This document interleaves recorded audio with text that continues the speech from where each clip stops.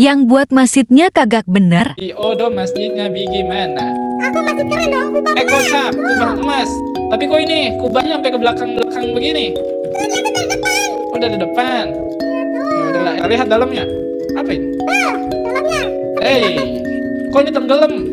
No, eh kok ini tenggelam? Eh, tolong. Ini. Ini ngapain sih ini yang buat masjidnya udah bener nih pasti kontraktornya timin-timin bisa tenggelam. Udah kah? Ada yang tenggelam lagi? Eh ditambahin jam. Kocak, eh tenggelam lagi. Tolong, tolong. Aduh banyak kerusakan nih. Lah, ini kok sholatnya nggak di sejadah dia, di luar sejadah. Ini emang di sini. Enggak ini sejadah gede-gede lu sholat kagak di sini. Tuh, tuh, tuh, Gimana tuh. sih?